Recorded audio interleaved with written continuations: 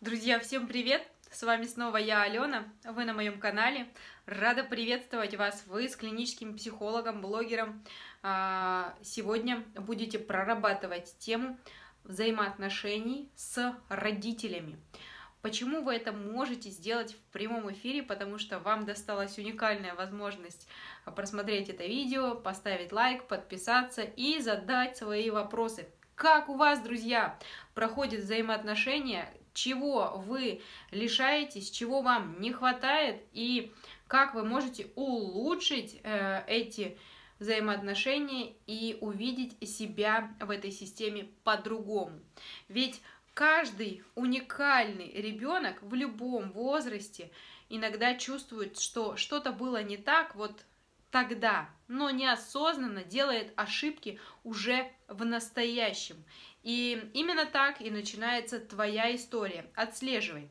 Сейчас я буду погружать прямо здесь тебя в события твоей жизни, и ты можешь наблюдать, как ты себя чувствовал вот тогда, как ты ощущал а, свою ситуацию и как тебе было тогда в моменты переживания каких-то состояний.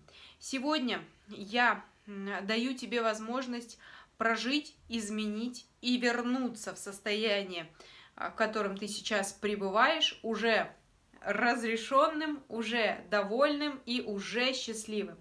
Прямо сейчас вспоминай, положи руку на грудь и вспомни себя в возрасте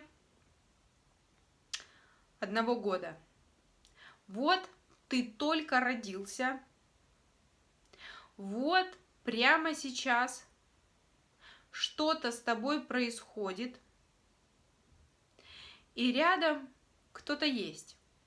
Возможно, это твоя мама. Как тебе там, когда ты, друг, появился? Какие у тебя проблемы? Какое у тебя познание? Какие у тебя чувства? Что ты там ощущаешь? Хорошо ли тебе? Поехали дальше. Отслеживай. Ступенька номер два. Это твое взросление. Ты идешь в садик, возможно, ты находишься дома с бабушкой, с дедушкой. Три, четыре, пять, шесть.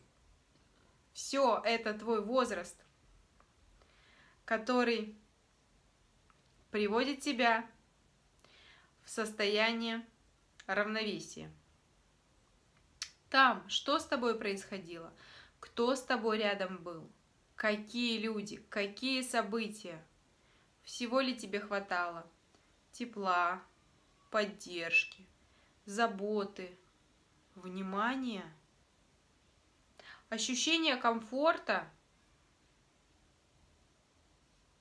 ощущение свободы. Всего ли тебе там хватало? Была ли у тебя возможность реализовывать свой потенциал? Любили ли тебя настолько, насколько бы тебе это хотелось? Да, ощути себя до конца. Какой ты там? Счастливый. Идем дальше. Семь, восемь, девять, ты в школе. Как тебе там? Что с тобой происходит?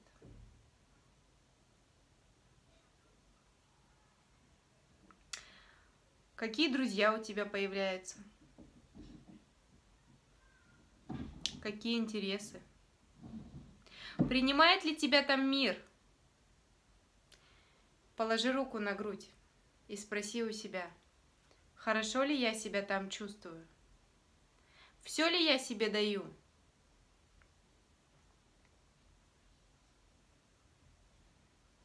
Нравится ли мне там?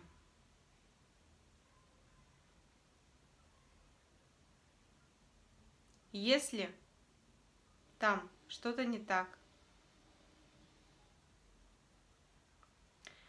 то понаблюдай за этим.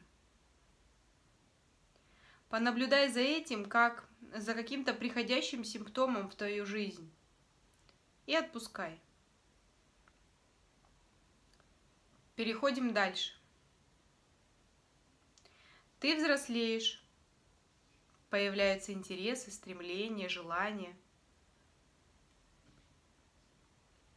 Ты постоянно меняешься. И, возможно, ты пытаешься соответствовать. Возможно, у тебя появляются друзья. Возможно, у тебя появляются какие-то кумиры. А возможно, ты сам идеал для других. Понаблюдай за этим периодом и вспомни, давали ли тебе ту любовь, поддержку, заботу, все, что тебе было нужно тогда. Если да, то здорово. Поехали дальше. Если нет, понаблюдай, поблагодари. И увидь, что было не так. Где хотелось больше? От кого хотелось больше? Прости себя за тот период, где ты был маленький, и ты не знал, что тебе делать. Идем дальше. 10, 11, 12, 13. Все ли у тебя там хорошо? Идеален ли ты? Или ты хочешь таким казаться? Многие приходят с запросом об идеальности, но формат твоей уникальности – это другое. Посмотри там на себя, счастлив ли ты, чем ты занимаешься, какие интересы. Есть ли события, которые заставляют тебя плохо себя чувствовать? Что это? Кто это? Почему это так? Что мешает?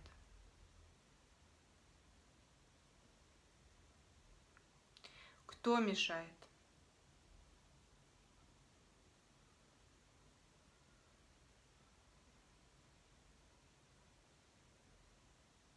А может это все твое? Поехали дальше. Не переключайся. 13, 14, 15, 16. Есть ли любовь? Где ты? Кто ты? Чем ты занимаешься? Больно ли тебе там? Тревожно? А может быть ты в лагере? А может быть где ты там? А родители? Что с ними? Дают они тебе все, что нужно? Если это все по-настоящему, то оцени это на пятерочку. Сегодня я прошу тебя задать себе глобальные вопросы. Могу ли я делать что-то большее, чем я уже имею? Чем я могу иметь? Могу ли я принять весь тот опыт из прошлого? Поехали опять в прошлое. 16, 17, 18, 19, 20. 20, тебе уже 20, посмотри тот период и вспомни все моменты проживания горя, тревоги, тоски, внутреннего одиночества, всех тех состояний базовых, которые э, тебе дала природа, и ты, возможно, справлялся сам. Возможно, ты где-то ошибался при помощи еды при помощи каких-то слабых наркотиков. Может быть, это были сигареты, может, это были отвлечения, может, это были встречи. И где-то там, где-то там была ошибка. А ошибка, ошибкой называется